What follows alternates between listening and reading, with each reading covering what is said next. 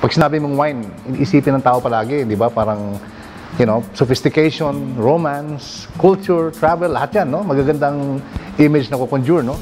Ang problema lang, despite the very high, appealing, positive image, you know, ang tanong ko sa sarili ko, bakit kung ganun kagandang tingin nila sa wine, bakit napakababa ng, ng benta? Konti lang umiinom, no? So I felt that that was an opportunity, no? The opportunity to fill the gap between the appeal of wine, which is up here, and the actual consumption, which was down here, no?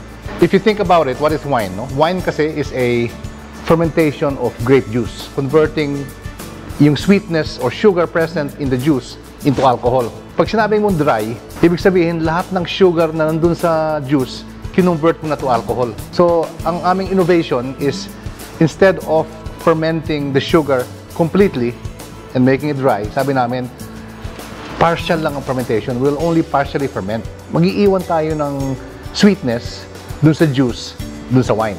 So, that, that is why our wines are sweet. Some people think that it's sweet because we add sugar. That's not really the reason why it's sweet. It's sweet because of the natural sweetness of juice, which do not, we do not ferment completely into alcohol. There is no magic to winemaking. It's a kind of complicated process, but the principles are very simple. There were three reasons no, why we thought we would come out with a wine product here in the Philippines. Because when you think about it, ba't nagagawa ng wine sa Pilipinas? Hindi naman natin specialty yan, di ba? Yeah.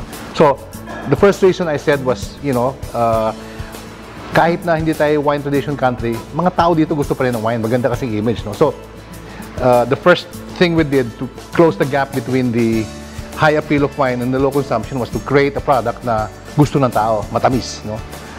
The second thing was we engaged in heavy sampling and advertising. Our challenge was to educate people to know what good wine is, no? The third reason uh, that we tried to, uh, why, how we tried to overcome the gap between the high appeal and the low consumption of wine was pricing.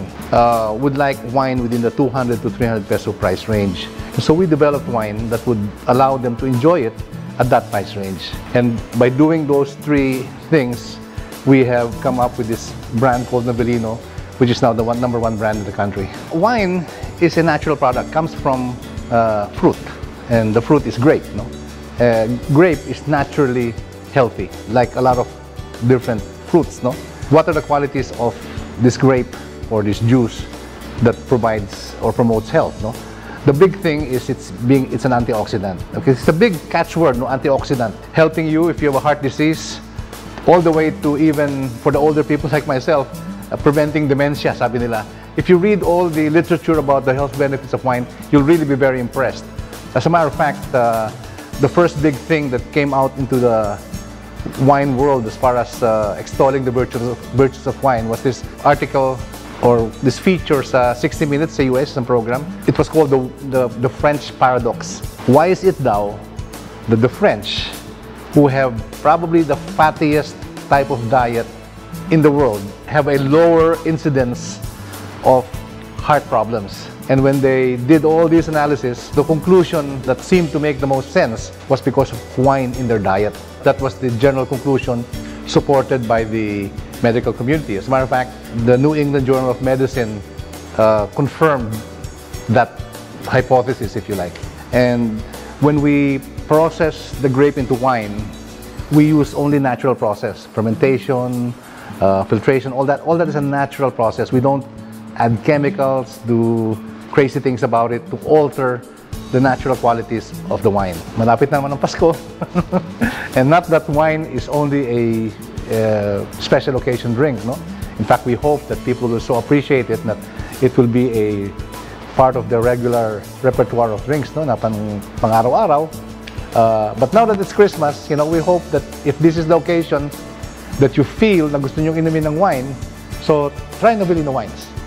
It is special and it's made for you. Uh, and the best way for you to really appreciate it is to obviously taste it. So we invite you all to taste Novellino wines.